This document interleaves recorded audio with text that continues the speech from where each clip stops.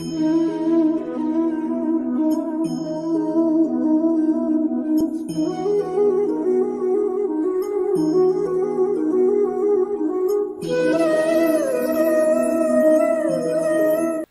ಗುರುಭ್ಯೋ ನಮಃ. ಮಾಯಕಾರ ಪ್ರಭುವೇ ನಮಃ. ಗಣೇಶ ದೇವಿ, ವಾಗ್ದೇವಿ, ಮಮ ವಾಕ್ಯ, ಸಿದ್ಧಿ, ಕುರು ಕುರು ಸ್ವಾಹ. ಓಂ ನಮೋ ಭಗವತಿ, ಚಾಮುಂಡೇಶ್ವರಿ, ಮಲಯಾಳ ಸ್ವರೂಪಿಣಿ, ಸರ್ವಸಿದ್ಧಿಕಾರಿಣಿ, ಸತ್ಯಂ ಬ್ರೂಹಿ ಸ್ವಾಹ. ಆರಾಧ್ಯ ದೇವನಾಗಿರುವಂತಹ ಮಲೆಮಾದೇಶ್ವರರನ್ನ ಮನದಲ್ಲಿ ನೆನೆಯುತ್ತಾ ವಿದ್ಯಾಗುರುಗಳ ತಂದೆ ತಾಯಿಗಳ ಪಾದಾರವಿಂದಗಳಿಗೆ ನಮಸ್ಕಾರವನ್ನು ಮಾಡ್ತಾ ಜಗದ್ಗುರು ಪಂಚಾಚಾರ್ಯರನ್ನ ಬಸವಾದಿ ಶರಣರನ್ನ ಮನದಲ್ಲಿ ನೆನೆಯುತ್ತಾ ನನ್ನೆಲ್ಲ ಪ್ರೀತಿಯ ಯೂಟ್ಯೂಬ್ ವಾಯಿನ ವೀಕ್ಷಕ ಬಂಧುಗಳ ಅಂತರಾತ್ಮಗಳಿಗೆ ನಿಮ್ಮ ಡಾಕ್ಟರ್ ಮುಗುರು ಮಧು ದೀಕ್ಷಿತ್ ಮಾಡುವಂತಹ ಪರಿಪೂರ್ಣವಾದಂಥ ನಮಸ್ಕಾರಗಳು. ಇವತ್ತು ನಾನು ನಿಮಗೆ ತಿಳಿಸ್ತಾ ಇರುವಂತಹ ಒಂದು ಇಂಟ್ರೆಸ್ಟಿಂಗ್ ವಿಚಾರ ಏನಪ್ಪ ಅಂದರೆ, ನೀವು ನಿಮ್ಮ ಮಕ್ಕಳು ಬಳಸುವಂತಹ ಬಾಟಲ್, ಅಂದರೆ ನೀರಿನ ಬಾಟಲ್ ಯಾವ ಬಣ್ಣ ಇರುತ್ತೆ, ಅದರಿಂದ ಆಗುವಂಥ ಸಮಸ್ಯೆಗಳೇನು ಅನ್ನುವಂಥ ವಿಚಾರವನ್ನು ತಿಳಿಸ್ತಾ ಇದ್ದೀನಿ. ಪ್ರಮುಖವಾಗಿ ಇನ್ನೂ ನನ್ನ ಚಾನಲ್ ನೀವು ಸಬ್ಸ್ಕ್ರೈಬ್ ಆಗಿಲ್ಲ ಅಂದರೆ ದಯವಿಟ್ಟು ಇವಾಗಲೇ ಸಬ್ಸ್ಕ್ರೈಬ್ ಆಗಿ ಬೆಲ್ ಬಟನ್ ಪ್ರೆಸ್ ಮಾಡಿ. ಮತ್ತು ಪ್ರಮುಖವಾಗಿ ನನ್ನ ಕಾರ್ಯಕ್ರಮ ನಿಮಗೆ ಇಷ್ಟ ಆದರೆ ಮಾತ್ರ ನೀವು ಶೇರ್ ಮಾಡಿ ಸಪೋರ್ಟ್ ಮಾಡಿ ಅಂತ ಹೇಳ್ತಾ, ಇನ್ನು ಬಾಟಲ್ ವಿಚಾರ ಅಂತ ಬಂದಾಗ, ನೀರಿನ ಬಾಟ್ಲ್ ಅನ್ನುವಂಥದ್ದು ಬಂದಾಗ ಯಾವುದೇ ಒಂದು ವಸ್ತು ಯಾವುದೇ ಒಂದು ವಸ್ತುವಲ್ಲಿ ಒಂದು ವಿಶೇಷವಾದಂಥ ಒಂದು ಎನರ್ಜಿ ಇರುತ್ತೆ. ಇದನ್ನು ನಾವು ಪ್ರಮುಖವಾಗಿ ಈವನ್ ಲಕ್, ಮ್ಯಾನ್ ಲಕ್ ಮತ್ತು ಅರ್ತ್ ಲಕ್ ಅಂದರೆ ಸ್ವರ್ಗದಲ್ಲೇ ನಿರ್ಣಯ ಆಗಿರುವಂತಹ ಒಂದು ಯೋಗ.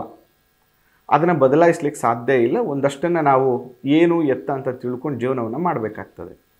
ಎರಡನೇದಾಗಿ ಬಂದು ನಾವು ಮಾಡಿಕೊಳ್ಳುವಂತಹ ಅದೃಷ್ಟ ಮತ್ತು ದುರದೃಷ್ಟ. ನಮಗೆಲ್ಲ ಅವಕಾಶಗಳನ್ನು ಇರುತ್ತೆ, ನಾವು ಅದನ್ನು ಸರಿಯಾಗಿ ಬಳಸ್ಕೊಳ್ಳದೇ ಇರುವಂಥದ್ದು. ಅರ್ಥಲಕ್ ಅಂತ ಬಂದಾಗ ಪ್ರಕೃತಿ. ಪ್ರಕೃತಿಯನ್ನು ಸರಿಯಾದ ಕ್ರಮದಲ್ಲಿ ಬಳಸ್ಕೊಳ್ಳುವಂಥದ್ದು. ಇಲ್ಲ ಅಂದರೆ ನಮಗೆ ಅದು ಡಿಸ್ಟರ್ಬ್ ಅಂತೂ ಖಂಡಿತವಾಗಿಯೂ ಮಾಡುತ್ತೆ.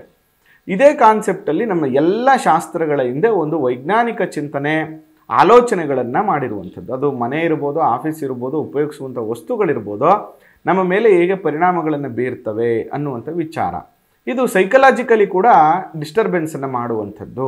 ಈಗ ಎಕ್ಸಾಂಪಲ್ನ ನಿಮ್ಗೆ ಹೇಳ್ತೀನಿ. ತುಂಬ ಜನ ಹೇಳ್ತಾರೆ, ಗ್ರಹಣ ಆಗ್ಬಿಟ್ರೆ ಮನ್ಸಿಗೆ ಏನು ಪರಿಣಾಮ ಬೀರ್ಬಿಡುತ್ತೆ? ಯಾವುದೋ ಒಂದು ಗ್ರಹಣ, ಗ್ರಹದಿಂದ ಏನು ನಮಗೆ ಪರಿಣಾಮ ಬೀರ್ಬಿಡುತ್ತೆ? ಅಥವಾ ಯಾವುದರಿಂದ ಏನೋ ಆಗ್ಬಿಟ್ರೆ ನಮ್ಮ ಮನಸ್ಸಿಗೆ ಮೇಲೆ ಹೇಗೆ ಅದರ ಪರಿಣಾಮ ಬೀರುತ್ತೆ ಅಂತ. ಅದಕ್ಕೆ ಒಂದು ಸಣ್ಣ ಎಕ್ಸಾಂಪಲ್ ಕೊಡ್ತೀನಿ ನಿಮಗೆ. ನೀವು ಒಂದು ಸ್ಕೂಟ್ರಲ್ಲಿ ಮಧ್ಯರಾತ್ರಿ ಹನ್ನೆರಡು ಗಂಟೆಯಲ್ಲಿ ಒಂದು ರಸ್ತೆಯಲ್ಲಿ ಹೋಗ್ತಾ ಇರ್ತೀರಿ ನೀವು. ನಿಮ್ಮ ಮುಂದೆ ಇರುವಂತಹ ಬಲ್ಪ್, ಅದನ್ನು ನೀವು ಲೈಟ್ ಬರ್ತಾ ಇರುವಂಥ ಒಂದು ಬಲ್ಪ್ ಏನಿದೆ, ಅದನ್ನು ನೀವು ಸಾಮಾನ್ಯವಾಗಿ ಅಬ್ಸರ್ವ್ ಮಾಡಿ, ಅದನ್ನೇ ನೀವು ಸೂರ್ಯ ಅಂತ ಇಟ್ಕೊಳ್ಳೋಣ.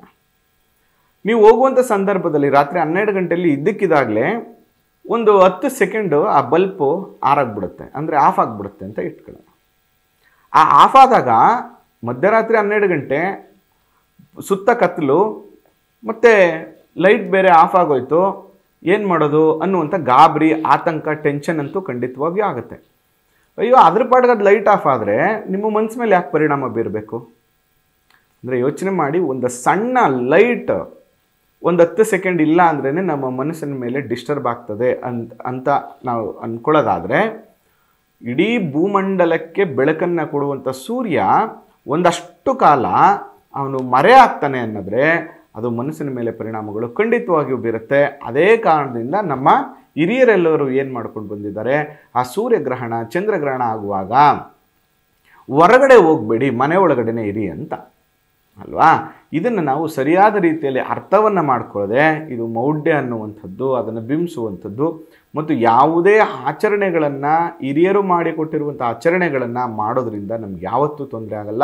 ಆವತ್ತೆಲ್ಲ ಸಮೃದ್ಧಿಯಾಗಿ ಬದುಕ್ತಾ ಇದ್ರು. ಇವತ್ತು ನಾವೆಲ್ಲನೂ ತಿಳ್ಕೊಂಡಿದ್ದೀವಿ, ತುಂಬ ಅಡ್ವಾನ್ಸ್ ಆಗಿದ್ದೀವಿ, ಯಾರೂ ನೆಮ್ಮದಿಯಾಗಿ ಬದುಕ್ತಾ ಇಲ್ಲ.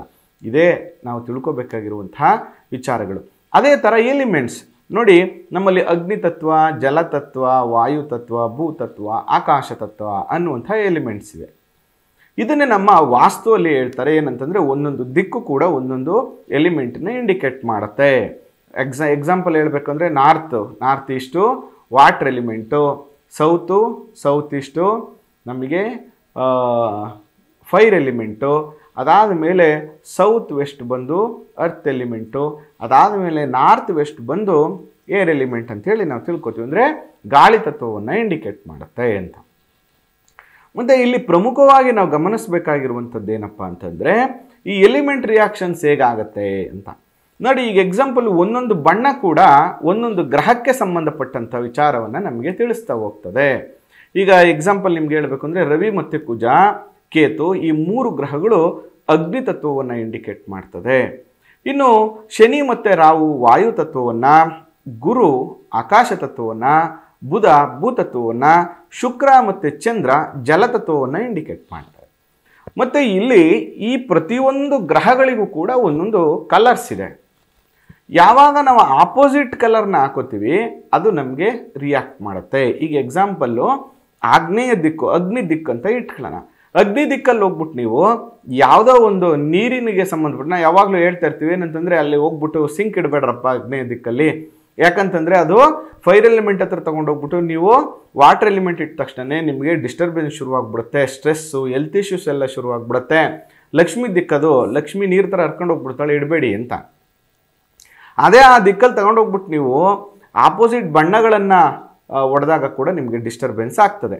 ಅದಕ್ಕೆ ನಾವು ಯಾವಾಗಲೂ ಏನು ಹೇಳ್ತೀವಿ ಅಂದರೆ ಕಲರ್ ಭಾಳ ಪ್ರಮುಖವಾದಂಥದ್ದು. ಅದರ ವಾಸ್ತುವಿನ ಬಗ್ಗೆ ಮುಂದಿನ ದಿನಗಳಲ್ಲಿ ನಾನು ಹೆಚ್ಚಿನ ಮಾಹಿತಿಯನ್ನು ಕೊಡ್ತೀನಿ. ಆದರೆ ಇವತ್ತು ನಾನು ನಿಮಗೆ ತಿಳಿಸ್ತಾ ಇರುವಂಥ ವಿಚಾರ ಬಂದು ವಾಟರ್ ಬಾಟಲ್ ಸಾಮಾನ್ಯವಾಗಿ ಒಂದು ಯಾವುದೇ ಒಂದು ಕುಡಿಯುವಂಥ ನೀರಿನ ಬಾಟಲಲ್ಲಿ ನಾವೇನು ಮಾಡ್ತೀವಿ ಅಂದರೆ ಬೆಳಗ್ಗೆಯಿಂದ ಸಂಜೆವರೆಗೂ ಕೂಡ ನೀರನ್ನು ಮಕ್ಕಳಿಗೆ ಇಟ್ಕೊಡ್ತೀವಿ. ಅಥವಾ ನಾವು ಟ್ರಾವೆಲಿಂಗ್ ಮಾಡ್ತಾ ಇರ್ತೀವಿ. ಅಥವಾ ಆಫೀಸ್ಗೆ ಹೋದಾಗ ಒಂದು ಬಾಟ್ಲಲ್ಲಿ ನೀರನ್ನು ತೆಗೆದುಕೊಂಡು ಹೋಗುವಂಥ ಅಭ್ಯಾಸ ನಮ್ಮೆಲ್ಲರಿಗೂ ಇರುತ್ತೆ. ಆದರೆ ಆ ವಾಟರ್ ಬಾಟಲ್ ಏನಾದ್ರೂ ಕೆಂಪು ಬಣ್ಣದ್ದಾಗಿದ್ದರೆ ಆ ಕುಡಿದಂಥ ನೀರು ನಿಮಗೆ ಸಮಾಧಾನ ಆಗಲ್ಲ, ಮತ್ತು ಆ ಕುಡಿಯುವಂಥ ನೀರು ನಿಮಗೆ ಸ್ಟ್ರೆಸ್ಫುಲ್ ಆಗಿರುತ್ತೆ, ಮತ್ತು ಅದು ಎನರ್ಜಿಯನ್ನು ಡ್ರೈನ್ ಮಾಡುತ್ತೆ. ಯಾಕೆ ಅಂತಂದರೆ, ನೋಡಿ ರೆಡ್ ಕಲರ್ ಬಂದು ಫೈರ್ ಎಲಿಮೆಂಟ್ ಅಂದರೆ ಬೆಂಕಿ ಅಗ್ನಿ ತತ್ವವನ್ನು ಇಂಡಿಕೇಟ್ ಮಾಡುತ್ತೆ. ಆ ಬೆಂಕಿ ತತ್ವ ಇರುವಂತಹ ರೆಡ್ ಕಲರ್ ಬಾಟ್ಲಲ್ಲಿ ನೀವು ನೀರನ್ನು ತುಂಬೋದಾಗ ಏನಾಗುತ್ತೆ? ಆ ಬಾಟ್ಲಿನ ನೀರು ಮತ್ತು ಆ ಬಣ್ಣ ಯಾವಾಗಲೂ ಕೂಡ ಆಪೋಸಿಟ್ ರಿಯಾಕ್ಷನ್ ಆಗ್ತಾ ಇರುತ್ತೆ.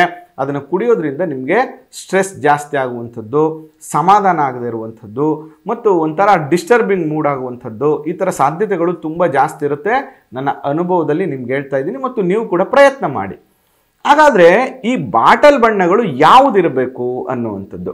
ಮುಂದೆ ಹೇಳ್ತೀನಿ, ಏನಂತಂದರೆ ನಿಮಗೆ ಮುಂದಿನ ಎಪಿಸೋಡ್ಗಳಲ್ಲಿ ಯಾವ್ಯಾವ ಬರ್ತ್ ಡೇಟ್ಗಳಲ್ಲಿ ಹುಟ್ಟಿರೋರಿಗೆ ಯಾವ್ಯಾವ ಕಲರ್ ಆಗಲ್ಲ.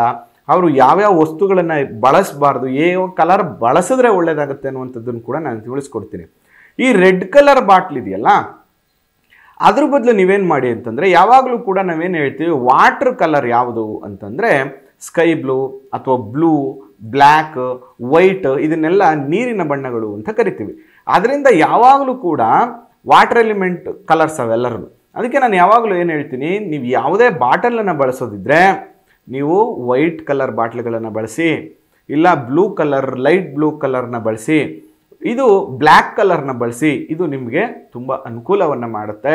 ಮತ್ತು ನೀವು ಕುಡಿಯುವಂಥ ನೀರು ಸ್ವಲ್ಪ ಎನರ್ಜೆಟಿಕ್ ಆಗಿರುತ್ತೆ. ಮತ್ತು ಕುಡಿದ್ರೆ ಸಮಾಧಾನ ಆಗುತ್ತೆ. ಮತ್ತು ಸ್ಟ್ರೆಸ್ ಫ್ರೀ ಆಗ್ತದೆ ನಿಮಗೆ. ನೀವು ಒಂದು ಸರಿ ಟ್ರೈ ಮಾಡಿ ನೋಡಿ, ಹಂಡ್ರೆಡ್ ಪರ್ಸೆಂಟ್ ನಿಮಗಿದು ವರ್ಕೌಟ್ ಆಗುತ್ತೆ. ಏ, ಇದ್ರಲ್ಲಿ ಏನ್ರಿ ಸೈನ್ಸ್ ಐತೆ? ಇದನ್ನ ಏನೋ ಹೇಳ್ತವ್ರೆ, ಯಾಕ್ರಿ ಕೇಳಬೇಕು ಅನ್ನುವಂಥದ್ದಿದ್ರೆ ಅದು ನಿಮ್ಮ ಇಷ್ಟ ಬಟ್ ಇದನ್ನು ಬಳಸೋದ್ರಿಂದ ನಿಮ್ಗೆ ಏನಾದ್ರು ತೊಂದರೆ ಆಗುತ್ತೆ ಅಂತ ಯೋಚನೆ ಮಾಡಿ. ನಾನೇನು ಹೇಳ್ತಾ ಇದ್ದೀನಿ ಬಾಟ್ಲಂತೂ ಬಳಸ್ತಾ ಇದ್ದೀನಿ ಆ ಬಾಟ್ಲ್ ಬಣ್ಣವನ್ನು ಬದಲಾಯಿಸಿ ಅಂತ ಅಷ್ಟೇ ನಾನು ಹೇಳ್ತಾ ಇದ್ದೀನಿ.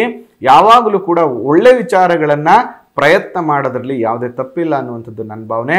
ಪ್ರತಿಯೊಂದು ವಸ್ತುವಿನಲ್ಲಿ ಕೂಡ ಒಂದು ಎನರ್ಜಿ ಇದೆ. ಇದನ್ನು ಮರಿಬೇಡಿ ಅಂತ ಹೇಳ್ತಾ ಇವತ್ತಿನ ಕಾರ್ಯಕ್ರಮವನ್ನು ಮುಗಿಸ್ತಾ ಇದ್ದೀನಿ.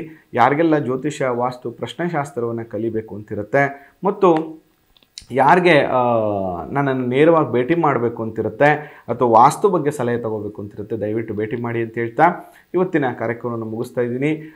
ಬೆಂಗಳೂರು ಮತ್ತು ಮೈಸೂರು ಎರಡು ಕಡೆಯೂ ನಾನು ಸಿಗ್ತೀನಿ. ಆ ಮಲೆಮಹದೇಶ್ವರ ನಿಮಗೆ ಆಯಸ್ಸು, ಆರೋಗ್ಯ, ಸಂತೋಷ ನಿಮಗೆ ಎಲ್ಲವನ್ನು ಕೊಟ್ಟು ಕಾಪಾಡಲಿ ನಮಸ್ಕಾರ.